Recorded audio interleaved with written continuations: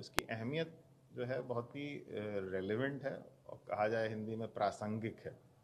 क्योंकि जो Indo Islamic culture की हम बात करते हैं तो उसमें आर्किटेक्चर एक बहुत बड़ा पहलू होता है। तो जो ये मौजूदा लोगो है, जो ये इसका मोटिफ है मोटिफ यानी जो इसका चिन्ह है सिंबल है, वो बेसिकली आपको जो हिंदुस्तान की वो इमारतें जिसमें इंडो इस्लामिक आप मानते हैं मिलन। ख़ासतौर से ये दौर शुरू हुआ था मुग़ल दौर में बादशाह अकबर के टाइम पे। तो बादशाह अकबर के दौर की जो सबसे कहा जाए इम्पोर्टेंट इमारत है वो है हुमायूं स्टोम जो दिल्ली में। जो हुमायूं का मकबरा है वो बादशाह अकबर ने ही तामीर किया था। तो उस जगह पे इसको बहुत जगह इस्तेमाल प्रोमिनेंटली यूज़ है। दुनिया में तमाम तहजीब हैं उसमें इस ऑक्टोग्राम की अहमियत है। हिंदुस्तानी तहजीब में भी है और जो हम कहे जाते हैं जूडियो क्रिश्चियन रिलीजन मतलब जो जैसे इस्लाम ज्यूज़ यहूदी और क्रिश्चियनिटी जो एक मिडल ईस्ट के इलाके से आया है तो वहाँ पे भी इसकी अहमियत पाई गई है।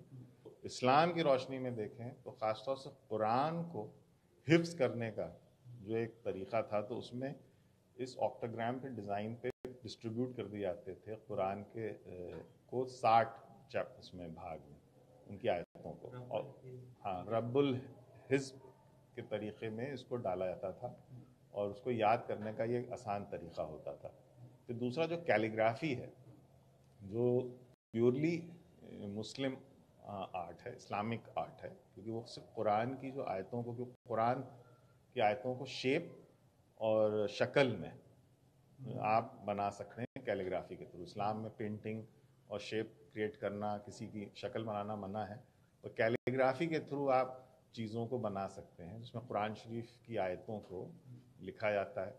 तो उस कैलीग्राफी की आर्ट में हर आयत जब एंड होती है तो उस आयत के एंड का जो फुल स्टॉप विराम होता है, वो यही मोटिफ ये जो लोगों में जो दिख रहा है ऑक्टोग्राम इसी शक्ल का होता है।